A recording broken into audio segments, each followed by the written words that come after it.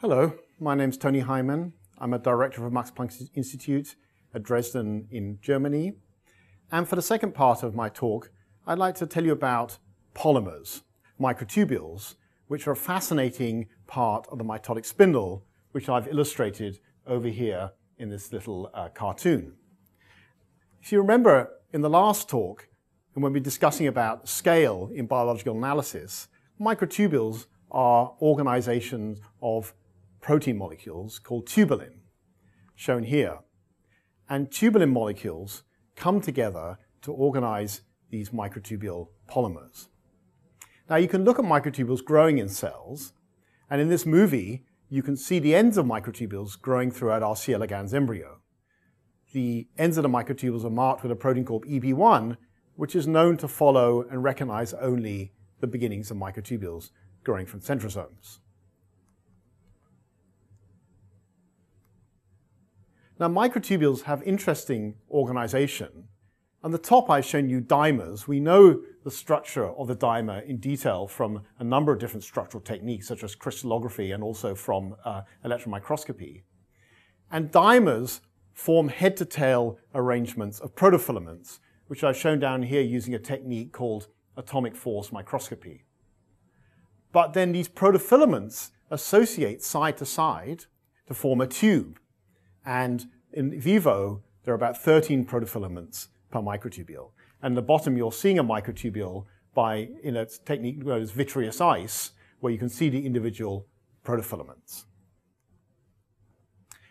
The interesting thing about microtubules is that they grow from their ends. So you have a polymer, which is the tube, and individual subunits come onto the ends and they leave the ends. And therefore you have an on rate of tubulin subunits and an off rate and the growth of microtubules is defined by these different rates. The other interesting thing about microtubules, they have polarity. So you have a tubulin dimer, but the dimer is a heterodimer with two different subunits, alpha and beta. And those alpha beta subunits set up a polarity inside the microtubule with the beta subunit at the plus end.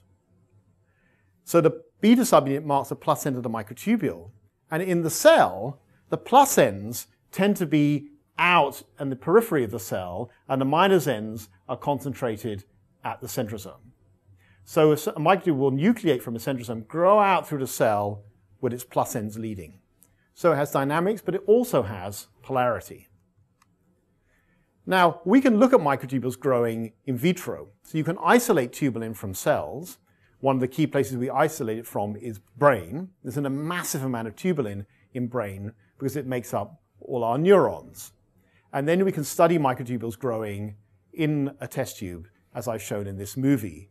The big structure here is a centrosome, which we've also isolated from the cell.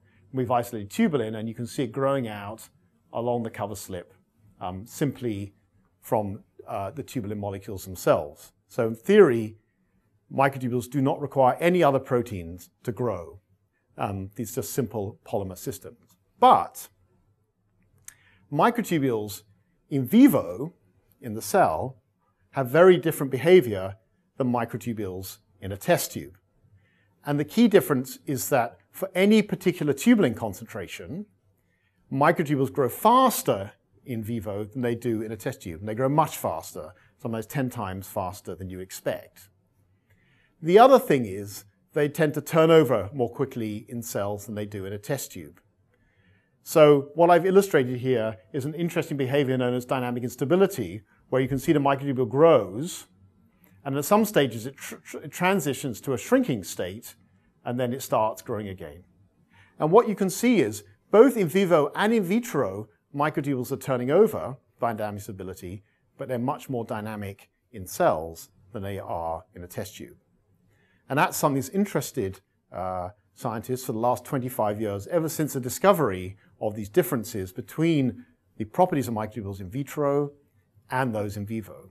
And we want to understand how microtubules are regulated in a cell in a vivo context, because that regulation is key to their activity in the cell. Building a mitotic spindle, for instance, requires that the activity of microtubules is regulated. One of the questions you can ask, and we always have to ask of biologists, if you're interested in a problem like that, so you, you've looked at your microtubules growing in a cell, and then you say to yourself, I'm interested in that problem. How am I going to get at it? And the first thing you tend to ask yourself as a biologist is, well, how complicated is it? Is this a soluble problem? Can I get at it? And here's a review um, from Rebecca Heald illustrating the numbers of different micro- uh, proteins that are known to be involved in regulation of microtubules. And you look at that, and it looks fairly terrifying. There's so many different molecules involved in the different processes. But, so we decided to go and ask, how complicated is the growth of microtubules in a C. elegans embryo? And we just decided to focus on one particular problem, which is how many proteins are required to make the plus end of a microtubule grow fast through the cytoplasm. If you remember, I said that it grows about 10 times faster in vivo than it does in vitro. So you can ask, how many proteins are required to do that. And we did that by taking advantage of our genome-wide RNAi screen. I mentioned this screen in the introduction, um, and this screen is an RNA interference screen where we can look for genes required for microtubule growth. And to do that, we took our large set of 800 genes and we decided to screen subsets of those for those that affected microtubule growth. So you remember our first screen was using Nomarski microscopy, and we couldn't see microtubules. It would have been too complicated for us at the time to screen everything by fluorescence microscopy. But with our subset of genes, we can ask which one of those are having their effects on the embryo because they prevent the microtubules from growing properly. And here's a movie where you can see the plus ends of microtubules growing by EB1, as I mentioned, and we can also track these microtubule ends automatically, which helps a lot in interpreting the phenotype. So in essence, this is the outline of our screen now, is we've taken the DIC screen, the Nomarski screen, and we've taken a number of genes, and we've got a set of genes here required for cell division. So we believe, our hypothesis is, that any gene which affects microtubule growth is likely to uh, make the embryo not divide properly. So we take those genes and do some bioinformatics to sub-select the genes to reduce the amount of work we have to do. And then we do our fluorescent secondary screen using various different fluorescent markers. And we look for the number of genes required for microtubule growth. And when we did that, the results were really quite interesting because they actually showed that many, not many genes are required for a microtubule to grow. If you have a look at this, this uh, rather complicated bar chart here, the white lines are showing the growth rate of microtubules. So on this particular axis, we have the growth rate of microtubules. And you can see this layer here is about the growth rate of wild-type microtubules. So then you can say, let's go through the genes and ask which genes no longer grow at wild-type rates. And I've, I've put those in a circle. You can see that there's a set of genes here, two, which are clear required for microtubules to grow. There's some other genes over here which also prevent microtubule growth, but we know that those are required to actually make the tubulin dimer itself. So obviously if you don't have enough tubulin, you're also not going to grow. Those interesting. We're not interested in those for this particular talk. We actually want to know when the tubulin's made, what proteins are required to make the microtubules grow. And here, all that work, we came up with two proteins that seem to be required for that. TAC and ZYG9, which we happen to know are actually in a complex. So there's a complex of proteins which are required for the growth of microtubules. Now it turns out that this protein, which is in the middle here, ZYG9, is part of a family of proteins. XMAP is one of the founder members in higher eukaryotes. There's STU2 in Cerevisiae, and there's DIS1 in Pombe. And every organism studied so far, every animal cell studied so far, has a member of this family. And they have these very interesting domains in them called TOG domains. As you can see here, XMAP has five TOG domains, C. elegans has three TOG domains, these yeasts have two TOG domains, but are thought to be in a dimer. So, so far what we've done is we've discovered then that actually in an embryonic system, controlling the growth rate of microtubules is quite simple. You need these two proteins. And that is the first part of any particular project in trying to work on any biological process. We've done what's known as a genetic screen using RNA interference to try and study the genes required for this process. What is the catalog? But then always comes the problem that any biologist then faces is what is the mechanism by which these proteins make the microtubules grow? And so how can one work on the mechanism of the activity of these different proteins? It turns out one of the key steps forward for us was to actually go and work on the protein in a different organism, which was in Xenopus. Now, biologists like to move around between different systems to find the system which is most appropriate for the problem they're actually interested in. And so, in this particular case, we use Xenopus because you can make extracts of cytoplasm where you can take away the membranes. Every time you work on a cell, you have the same problem, which is how do I get components across the membrane? The membrane of a cell has evolved over many millions of years to exclude most things it doesn't like. So you're always fighting as a biologist to get things across the membrane. Therefore, it's very helpful to be able to make cytoplasmic extracts without membranes. And in Xenopus, you can actually make very, very concentrated cytoplasmic extracts in which most of the things actually, um, uh, many of the cell biology and cell division events we're interested in actually still function. So that's shown here. We've got a couple of frogs. You take the eggs, you crush the eggs in a centrifuge, and then you have a concentrated cytoplasm. You can add centrosomes to that cytoplasm and watch microtubule growth. And when we did that, we found microtubules growing in the cytoplasm. But the interesting thing is we were then able to remove XMAP from the extracts. So we can study the activity of XMAP in these extracts. So over here, we have a microtubules growing from a, a, a, centrosome in an extract, untreated extracts, and you can see lots of microtubules growing all over the, the, the, cytoplasm. But then what we can do in Xenopus, we can make an antibody to the protein and we can deplete it from the extract, and then you can see you hardly have any microtubule growth at all. So both in Xenopus and in C. elegans, XMAP is a key protein required for microtubule growth. So then we'd like to understand how does XMAP make the microtubules grow. And to do that, the first thing you have to do is you have to make the protein in a test tube. And then you can study it on its own. And that's exactly what we did, is we made XMAP in a test tube, and we also were able to tag it with a GFP, a green fluorescent protein, in the test tube, so we could also look at the activity of the protein as well as its localization. Now, the work I'm going to talk to you about has been done together with Joe Howard, who's a close uh, collaborator of mine, and most of the work on the last, over the last 10 years on microtubules has been done together with Joe, who's a keen uh, cricket fan. And we'd like to look at the role of XMAP in controlling the growth rate of microtubules. Now, in order to do that, we have to look at microtubule growth in a test tube, and we want to look particularly at the growth of the plus ends. And we can monitor that in the test tube using um, fluorescence microscopy, you can see the red segment marks the minus end and the green segment marks the plus end. And you can see the, the green segment growing from the uh, red minus segment. Now what you'll notice is the red segment is stable. It's not growing and shrinking. And you can ask yourself, how is that? And that's key to our assay. By stabilizing the minus end, we can isolate the plus end growth and look at how that's regulated. Now, I just want to go into a little bit for you about how we go about stabilizing the minus end, because it's interesting both to think about the assay, but also it gives us a little bit more um, understanding of microtubule and tubulin biology itself. So what we're doing in this essence, we're making polarity marked microtubules. So what we do is we take brightly labeled tubulin here.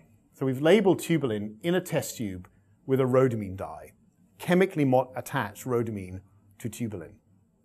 Then we warm it up and we make microtubules.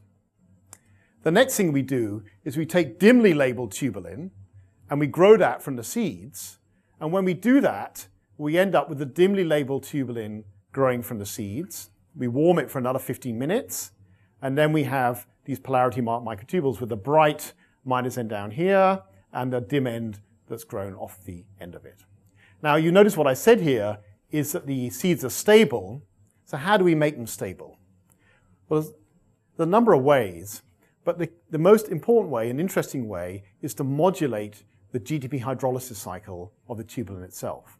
So it turns out that a tubulin dimer has two molecules of GTP. Alpha has a GTP molecule, and beta has a GTP molecule. But when tubulin polymerizes into a microtubule, only the beta hydrolyzes GTP to GDP. Now, there are analogs of GTP um, which can affect this cycle. So the cycle shown here, where the tubulin dimer comes onto the end of the microtubule, it docks. When it docks, that completes the hydrolysis pocket in the beta subunit, so the GDP now hydrolyzes. So we think that Mainly, it's just the end of the microtubule that has an unhydrolyzed GTP. So what happens if we block the hydrolysis of GTP? Well, we can do that using analogs of GTP, as I mentioned. And there are a number of different ways of making analogs of GTP. If you, if you remember your um, high school chemistry, uh, you have guanosine and you have three phosphates at the end of any uh, um, nucleotide.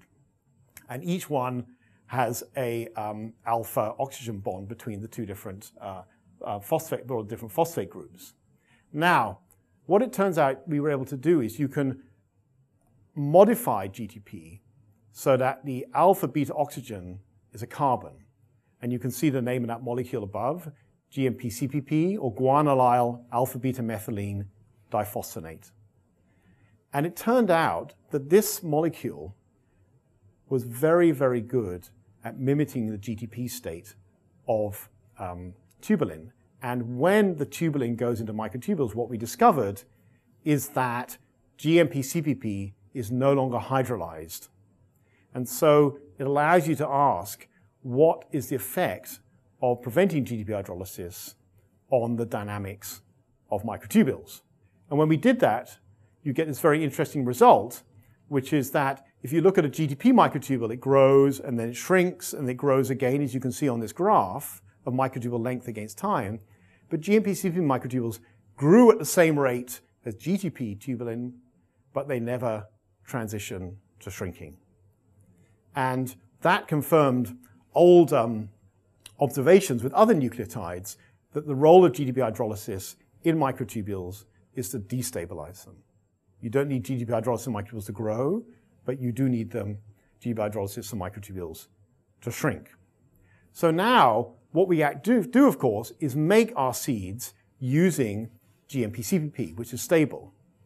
And that way we have the following assay with a GMP-CPP seed and the tubulin growing from the end of that stable seed. So now we have our assay. How are we going to analyze the role of XMAP? Well, you have to use a special kind of microscopy to do this, which is total internal reflection microscopy. And Joe Howard's lab developed ways to do this, to look at the dynamics of microtubules using total internal reflection microscopy, which is a way to just look at molecules which are very close to the surface of the cover slip. Now, if you take your growing microtubule and then you take labeled XMAP and add it to the test tube, what you see is XMAP is very interesting behavior, is it's processive, or it surfs at the end of the microtubules. So if you have a look at this, this um, figure here, you can see that the XMAP at the end of the microtubule stays with the end as it grows. It likes to be at plus ends, and it likes to stay with them as they're growing. So you can then begin to ask what are the dynamic properties of XMAP at the ends of microtubules by looking at single molecules of GFP XMAP. And you can do single molecule techniques using TIRF, and you can begin to ask questions like, we know that XMAP is responsible for microtubules growing fast. And so how do the individual XMAP molecules behave when microtubules are growing? If we do an experiment like that, you can actually see the ends of microtubules as they're growing with the GFP XMAP. So when we use this assay, we can look at GFP molecules growing at the ends of the microtubules. And then we can ask, how long do individual molecules stay at the ends of microtubules before dissociating? And what we discovered was that on average, an XMAP molecule stays about four seconds at the end of a microtubule, which is about 25 tubulin dimers. So somehow an XMAP is staying at the end of the microtubule and it's helping tubulin to get onto the end of the microtubule. And how can that work? How can the XMAP molecule stay at the end of the microtubule and help the tubulin add on at a faster rate, which is required for the microtubules to grow faster? One of the clues for this was that TOG domains bind tubulin. Now you remember that I told you at the beginning of the talk that XMAP is a molecule with many different of these TOG repeats. And so Steve Harrison's lab solved the structure of a TOG domain, was able to show that the TOG domains bind tubulin. And in fact, we were able to show that an XMAP binds one tubulin dimer on average. So then you can ask, how is it that XMAP, by sitting at the ends of the microtubules, helps these tubulin domain, molecules get on to the end of the microtubule? One of the things we considered is that XMAP acts like an enzyme to catalyze the, the addition of tubulin molecules to the end of the microtubule. And there are two things that should happen if an enzyme is working in this particular case, if XMAP is working as an enzyme. The first thing is that it should also be able to make microtubules depolymerize if there's no tubulin there. And that is a classic feature of all enzymes that you work on. They go in one direction if they have substrate there, but if you take away the substrate, they'll go in the other direction. So synthetic enzymes often turn into degradation enzymes if you take away the substrate. And so that should be the same for microtubules. If XMAP acting as a catalyst, if we take away tubulin, one might expect it to start depolymerizing microtubules. And that's exactly what we found. If you add XMAP to microtubules in the absence of tubulin, then um, uh, microtubules start to shrink. And this had first been noticed by the Mitchison lab in 2003. The second thing is the critical concentration of growth should not change. And I bring this up just to explain what we mean by the critical concentration of the growth from microtubule ends, because you sometimes hear this term, and it's sometimes quite confusing to understand what it means. I remember when I first heard about it, I had a lot of trouble trying to understand what this actually meant. And the way to think about it is to come back and look at our microtubule and think that tubulin has an off rate and an on rate. The off rate is um, the rate at which um, tubulin molecules come off, and the on rate is at which tubulin molecules go on. Now, if you reduce the tubulin concentration, you reduce the on rate till eventually the on rate and the off rate are matched. And that's a critical concentration for growth. Just above that concentration, the microtubules will now begin to grow. And so we can come back and ask, what is the effect of XMAP on the critical concentration? Because for a catalyst, if you raise the off rate, you'll also raise the on rate, and therefore the critical concentration should not change. And that's exactly what we found here. You can see the critical concentration to growth. You can see the point where it goes above zero is exactly the same point. So therefore, what we conclude from these experiments is that XMAP acts as a polymerase, as, a, as an enzyme. And I think the key experiment we did to show this is to show if you take away tubulin, microtubules shrink. We add back a little bit of tubulin, microtubules just begin to grow, and we add more, and they start to grow even faster. So the cycle of microtubule growth and shrinkage should be modulated by the amount of this XMAP protein in this cycle. So we think then that XMAP acts as a polymerase. And I took you through this story to illustrate a number of different things. At the beginning, I showed you how we can use genetic screens to get at the complexity of any particular system. But then I dive down to a little bit more detail to say, once you get that molecule, that's not enough. You then need to actually go and work on the mechanism by which it's having its effect. And that's what the goal we all have is in the end to try and work on the mechanism by which these individual proteins and their protein these protein complexes um, affect their um, particular activity.